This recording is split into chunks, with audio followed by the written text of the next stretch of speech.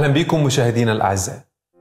بحسب كلمة الله الكتاب المقدس بنعرف إن البشر نوعين. في ناس مؤمنين بالمسيح مؤمنين بالرب ودول اللي يقول عنهم الكتاب المؤمنين أو المولودين ولادة ثانية. ودول الناس اللي اتغيرت حياتهم لما اتقابلوا مع المسيح وعرفوه وآمنوا بصليبه. ودول مش لازم يبقوا فقط المسيحيين. أي إنسان على الأرض يآمن بالمسيح ويقبل صليبه وعمله هو مؤمن بالمسيح. ده الفئة الأولى. الفئة التانية من البشر الناس اللي رفضوا المسيح ورفضوا قبول نعمته وما رضوش يقبلوا صليبه علشانها. مات لأجلهم على الصليب بس هم مش عاوزين ده. فاللي رفضوا دول هم الخطاة. الاتنين دول بيدوقوا طعم الفرح في حياتهم. الاتنين بيدوقوا. بس الكتاب المقدس يعلمنا إنه الخاطي فرحه فرح مؤقت فرح بدون أساس لكن فرح متغير طول الوقت. فهو يفرح عشان نجح في حاجة معينة يفرح عشان وصل لحتة معينة يفرح بمواقف تحصل في حياته حاجات كلها مؤقتة. في سفر أيوب يقول فرح الفاجر إلى لحظة يعني أو أوقات بسيطة صغيرة. ده الفرق بينه وبين المؤمن. المؤمن ينفع يفرح في كل الظروف وفي كل الأحوال ودي مش مجرد كلمات بقولها لكن المؤمن بيتضغط ويكتئب ويتضايق ويحزن لكن ربنا موجود في حياته بيخليه يختبر معنى الفرح الحقيقي الداخلي جواه برغم إنه بيعدي بظروف صعبة. فعلشان كده يمر بضيقات مختلفة بس تلاقيه في مواقف معينة ومشاهد معينة بيعلن عن هذا الفرح اللي ما ينفعش أهل العالم يعملوه. فتلاقي بولس وسيلة مرميين في السجن. فلازم يبكي ويعيط زي باقي الناس. لا الكتاب يقول لنا كان بولس وسيلة يصليان ويسبحان الله والمسجونون يسمعونهما. يعني عملوا فرصة روحية في السجن عملوا اجتماع وقعدوا يرنموا ويصلوا والمسجونين قاعدين يسمعوهم مستمتعين. طب ما أنتوا مسجونين زيهم ما تبكوا على حالكم. لا. يوسف اللي كان ليه علاقة بربنا لما كان مسجون كان الساقي والخباز مكتئبين جدا وحزانة جدا عشان الأحلام اللي حلموها. راح يوسف هو اللي راح لهم وقعد يفسر لهم الأحلام. رغم إن يوسف نفسه كان عنده حلم لسه ما اتحققش. طب ليه يا يوسف أنت مش زيهم؟ ليه مش حزين ومش كئيب؟ أنا مختلف. أنا عندي فرحة مختلفة. أنا عندي قيمة مختلفة في الحياة. فطول الوقت المؤمن بيختبر فرحة خاصة جدا حتى في وقت الأزمات والصعوبات يختبر إن ربنا معاه. ودي اللي بتعمل فرق حقيقي. عشان كده داود يقول في مزمور 23 أيضا إذا سرت في وادي ظل الموت لا أخاف شرا زي باقي الناس لأنك أنت معي. هو ده السر.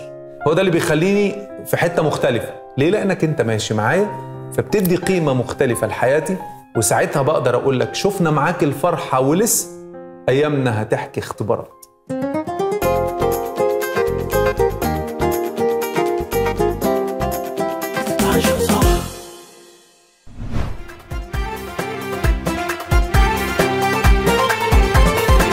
شفنا معاك الفرحة ولسه أيامنا هتحكي اختبارات.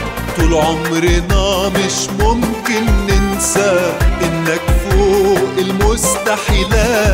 شفنا معاك الفرحة ولسه ايامنا هتحكي اختبارات. طول عمرنا مش ممكن ننسى إنك فوق المستحيلات. شفنا إيديك الحلوة بتدي أكتر جدا من طلباتنا شفنا معاك الصعب يعدي. أول ما بتسمع لصلاتنا شفنا إيديك الحلوة بتدي. أكتر جدا من طلباتنا شفنا معاك الصعب يعدي. أول ما بتسمع لصلاتنا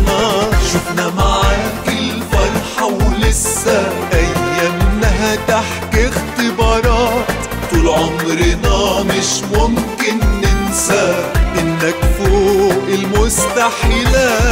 شفنا معاك الفرحة ولسه أيامنا هتحكي اختبارات. طول عمرنا مش ممكن ننسى إنك فوق المستحيلات. شفنا حنان قلبك بيداري ضعف إيماننا اللي بيحمينا. ما أنت يا رب عارفنا وداري حالة القلب وكل ما فينا. شفنا حنان قلبك بيداري ضعف إيماننا اللي بيحمينا. ما أنت يا رب عارفنا وداري حالة القلب وكل ما فينا. شفنا معاك الفرحة ولسه أيامنا هتحكي اختبارات طول عمرنا مش ممكن ننسى إنك فوق المستحيلات شفنا معاك الفرحة ولسه أيامنا هتحكي اختبارات طول عمرنا مش ممكن ننسى إنك فوق المستحيلات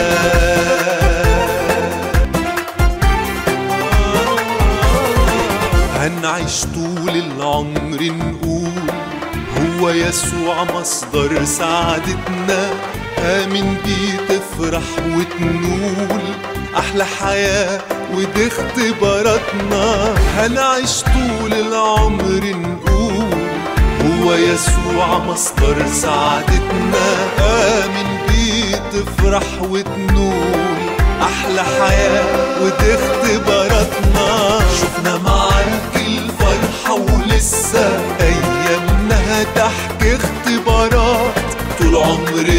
مش ممكن ننسى إنك فوق المستحيلات. شفنا معاك الفرحة ولسه أيامنا هتحكي اختبارات. طول عمرنا مش ممكن ننسى إنك فوق المستحيلات.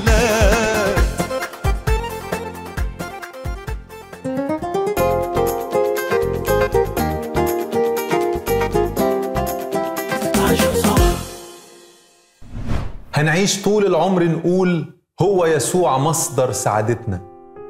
آمن بيه تفرح وتنول أحلى حياة ودي اختباراتنا. أي مؤمن بيتكلم عن المسيح بيتكلم عن اختبار حقيقي. بيتكلم إنه المسيح هو مصدر السعادة والفرح الحقيقي مش مجرد كلام. يعيش الإنسان طول الوقت عطشان للفرح الحقيقي بيدور طول الوقت على فرحة حقيقية في وسط العالم مش لاقي لغاية ما يتقابل مع المسيح ويدوق طعم الفرح بمعنى الكلمة. عشان كده بولس قال افرحوا في الرب كل حين وأقول أيضا افرحوا. يعني بعيد عن الرب مش هتلاقي فرحة حقيقية هتلاقي أفراح وقتية. في سفر أيوب يقول فرح الفاجر إلى لحظة يعني أفراح مؤقتة. لكن فرحة المؤمن مختلفة. حتى في وسط الضغوط ربنا بيقدر يديله أفراح ومشجعات خاصة وسندة من عنده.